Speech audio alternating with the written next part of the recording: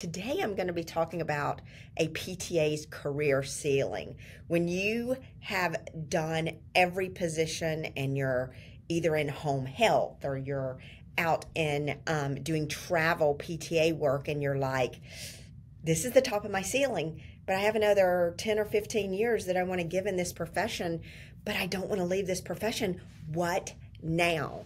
And guys, I'm so excited to be able to talk about what now for you because, you know, it is clear that each of us hit a ceiling at a certain time. And for me, that was 11 years ago. And at that time, I started a PT practice because there wasn't anything else out there for a PTA to do unless I wanted to go back to PT school or unless I wanted to leave the profession altogether. And I knew PT school and leaving the profession were not my options. So I created a different path. And today I'm going to talk about that career ceiling that you're kind of feeling right now. And I'm going to break things down for you a little bit more so that you can better understand what now.